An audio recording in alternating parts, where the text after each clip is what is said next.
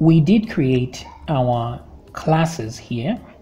Now we can't edit or delete these classes just yet. So let's add that kind of interface. So I'm going to go to my text editor and private views. So let me go to the classes view. That's the classes view.php. So I want to make sure that the buttons lead to the correct places. So classes edit, that's correct. Classes delete, that's correct. And once I go, once I'm done with that, I have to go to the classes edit here to make sure that uh, it says the correct stuff. So first of all, let's edit all references of school, edit class, like so. And let's see what else we need to change. So instead of school here, it's going to be class. And let's change the reference to school here as well. This one will be named class and the same thing here class name right then so even this here uh, this will return to classes like so. That's the cancel button there. And that should be good. That school here let me just press ctrl D to select all references and so that class was not found and then here class says like so. Same cancel button here and there. So uh, let's give it a spin. I will click here and there we go. So cancel first class. Boom. There we go. So I can cancel this. Now let me do the same for the delete. So I'm going to go to classes delete view. So are you sure you want to delete? This is all good but let me select all references of school and change that to class. So say class. Okay so here where there are three s's like this let me find all the references of that and put an e there so that it spells classes okay so yeah that should do it so if i now click delete are you sure you want to delete? That's first class and then we can click the delete button. Now I just want to see what happens when I click the actual button. So I have to go to the controllers and classes. Classes controller. This one is the add, which works just fine. This one is the edit and let's see here edit um, so classes model validate okay so everything looks good here and what about the delete? So let's see what that does. Classes delete delete delete. Okay so everything looks good. So let's try our edit and see where it fails. So I'll put a 2 there and try to save. And there we go. We have a 2 over there. So which means our editing is working fine okay so let's add a new class that we can edit so I'll call this one second class and create so we have a second class here now we need our classes to go above the new one to be on top. So let's change our query a little bit. So go back to the top and find all. Okay, so we're going to change how this runs. Instead of find all, mm -hmm. we're going to use a query instead. So let me just do query here like so and I'm going to put a select all from classes just select all from classes and I'll say order by ID descending Okay, so now that I have a query there instead, uh, it's going to load the other way around. Okay, so this didn't work as planned. Okay, that's because it doesn't account for the user. Okay, so we're going to fix that in a moment. Let me undo this for now. We'll do something else so that we still use the find all, but we can still uh, determine the order here. So what I could do is simply add a param in there that will allow for that. So here I can just say descending like so. That way I can say find all in descending order like that. This way, um,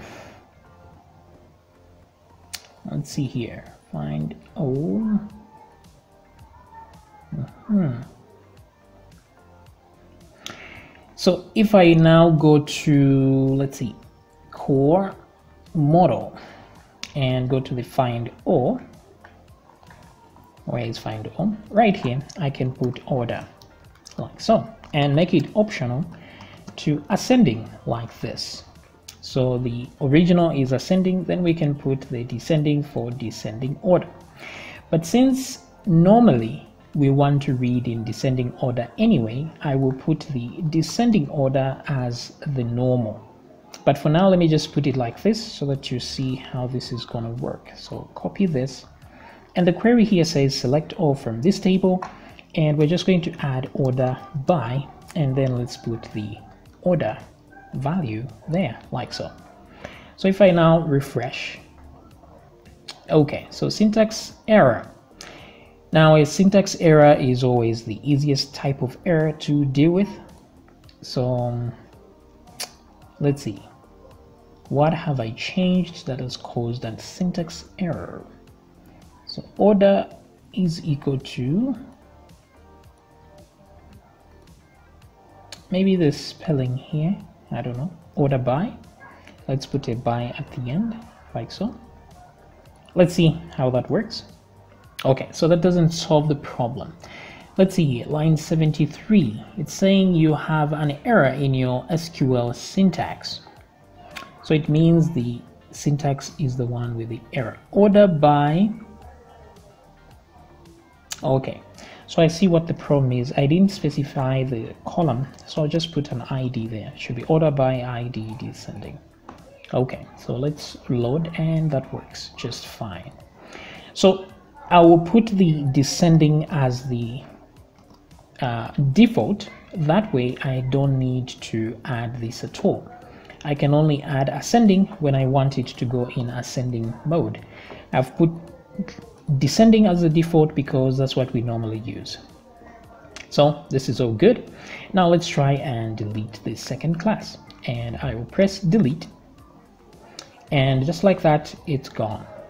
Okay, so we are good here. This first class and let's put a second class again like so and create. Alrighty then. So as you can see, uh, things is working fine. Now we just need to be able to click on this and go to this actual class, right? So let's just do the bare bones, uh, the bare minimum for that as we prepare for the next video. So we want a single class. Now the problem we have is class is a keyword. So if we just added class slash the URL here, we may have a problem because that's a keyword. So we're going to say single underscore class. That's what the controller name will be. It will be single class. But let's put a link here that will help us to do that. So if I go back to uh, class edit view, uh, not the edit view, actually this is the class view. Okay, so the button here is where is the button? Let's see. It's this one right here. Okay. So I'm just going to lower this here and lower that there. Zoom in a little bit. So this is the button here I want to add a link to. So I'm just going to copy this format here paste it there and close uh, like so close that tag. And then I want you to go to single underscore class like so. Okay so single class and let's remove the edit. We can add the ID there. But in the interest of not making it easy for somebody to mess with classes um, let me show you what I mean here. If I refresh the page the link here is single class slash 3 this one is slash 1 so somebody will just change the 1 and the 3 in the URL and they'll get to a class that they're not supposed to see. So we're going to start by using security through obscurity by using the uh, class what is it called? The class URL is it? Where is this? Uh, let's go to classes and see what we have in the columns here. So we have the class ID that's what it's called. So let's use that instead. Class underscore ID so back here. So the advantage of the class ID as you can see there it's a long string down there is that um, just by changing a few numbers here I will not get to the next one. I have to actually know the ID in order to add it in the URL so this is always good. So once we click here this is where we go. Single class and all that. But we're not seeing anything here. Now we need to create a controller for this single class. So let me do that real quick so let's go up here to controllers and let me copy one of these for example profile like so. Or yeah actually profile is good. So I'll copy all of the things in here. New file in controllers paste save this one and I will call this single underscore class dot php so likewise we will change this to single underscore class. And same thing here single class and do the same thing here. Single we'll put dash here on the view single class like this. And what is this here? So this one will be classes like that. And then here we'll have uh, what is this one? Class. Hmm. Normally here we should have the class name that we got. Uh, so let me hmm, come back here. Oh yeah so the class name is the class name itself. So we're just going to say class and here class. Like this okay.